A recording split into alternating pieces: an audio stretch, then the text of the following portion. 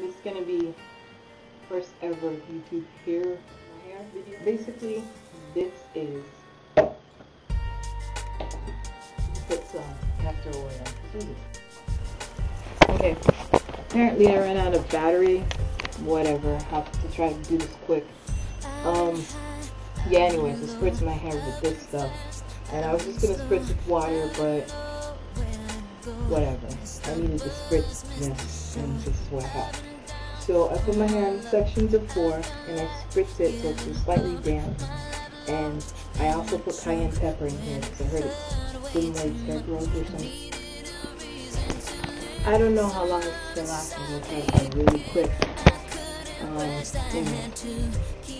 yeah, I put it into four sections. Rest is spritz it. Yeah, I get it so, can go on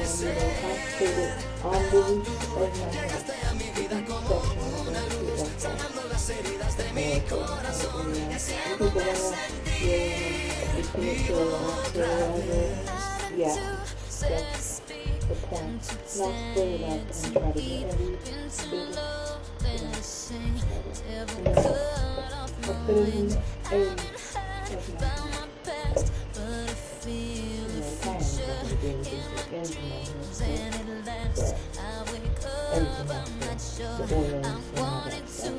all the different hair oils, I have glycerin, castor oil, I have canola oil in there as well, and extra virgin olive oil. So, and it up.